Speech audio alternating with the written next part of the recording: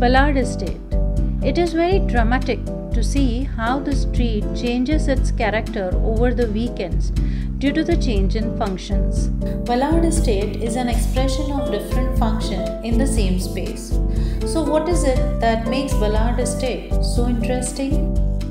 The formal looking streets along the European facades during the weekdays suddenly turns informal on the weekends where a particular sports takes over the beautiful heritage lanes. The success of the open spaces lies in its wide usability. While during the day it is crowded with office goers, the evening witnesses a dramatic change.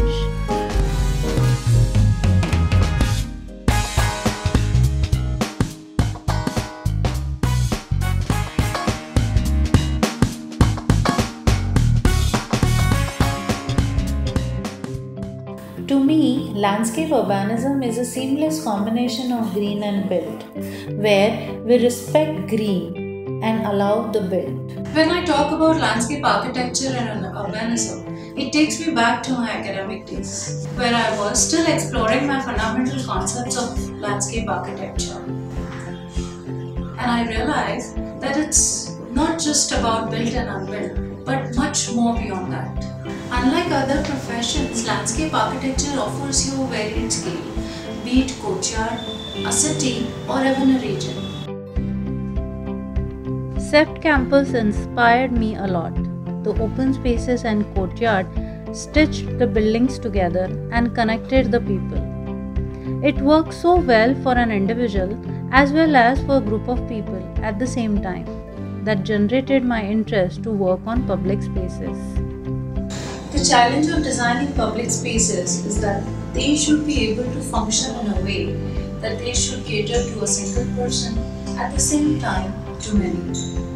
And you know, this different characteristics which uh, public spaces have really excites me to work on such spaces. Landscape changes over the period of time. The space you design today is very different over the period of six months and years later. It matures, it grows, and it relates to the process of aging. I think public spaces also have similar characteristics. They also age, they also mature, and they also follows the process of aging. Trees being one of the important element, it plays a vital role in achieving this character. A year back, I wrote an article in a magazine called My Livable City.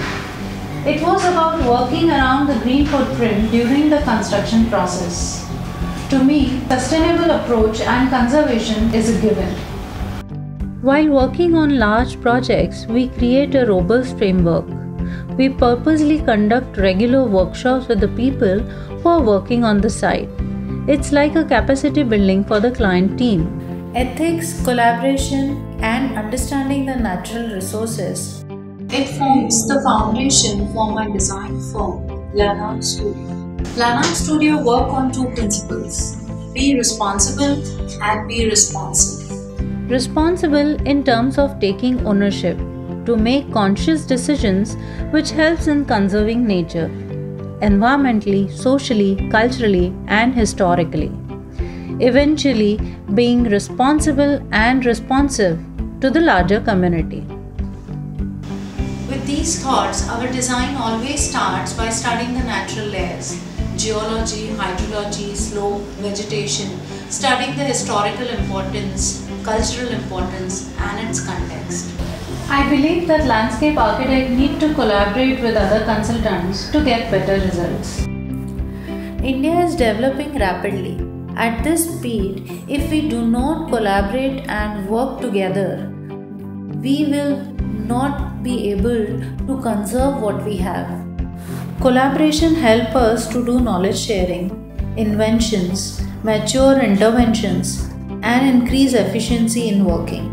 Lanarch Studio works in collaboration with an international firm called Icons based out of Netherlands.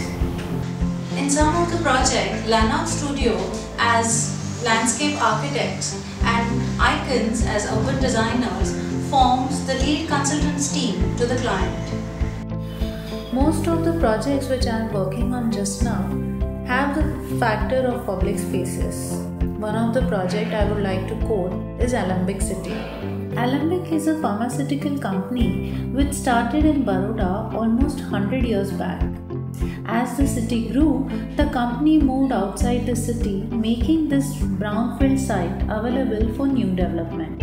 Lanarch, in collaboration with Icons, developed a vision document which can be executed phase wise over the period of time. This 180 acre land was given as a mixed land use zones from commercial, residential to public spaces. As always, we started the study by studying the natural layer that helped us to define the built form patterns and zone. Green corridors were established defining the pedestrian and vehicular paths. We have tried to save almost each tree on the site and conserve all the water which comes to the land by various conservation techniques like swales, percolation, harvesting pits, and so on. I think it is very important for a MEP coordination as it play a very important role in development, uh, developing such sites. We explore the possibilities of changing the typical conventional form and section details to suit the site that actually created wonders. Now, zooming down to one of the zones called as Art District, which had the first uh, factory unit installed in this area.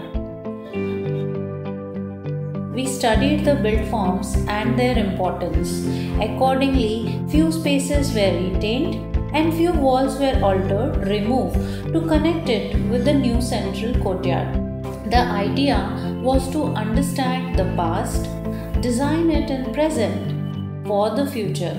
Retained built spaces got the function of museum, conference hall, exhibition spaces, and art studios, while the open spaces acted as a different courtyards for events, gathering spaces, spillover spaces, and to cater to many events. The special features like silos, chimneys, showcasing the industrial character formed a backdrop to all the events. The water feature, in line with the existing factory wall, accentuated the existing of old and new together, defining an adaptive reuse. This is how we as landscape architects share a larger responsibility in shaping up the city life. This for me is landscape urbanism. As land comes into picture, I feel landscape architect should be on board. In India, unfortunately, people still feels that the role of landscape architect is just to beautify the surrounding. Landscape architects are not against development in fact, we can guide them to make a sustainable yet systematic incremental development plan for any land parcel. To me, the design should accommodate everyone, like the bird on a tree to water at the swale, the electricity cables lighting up the space, the efficient use of natural resources to make it more cost effective and sustainable session.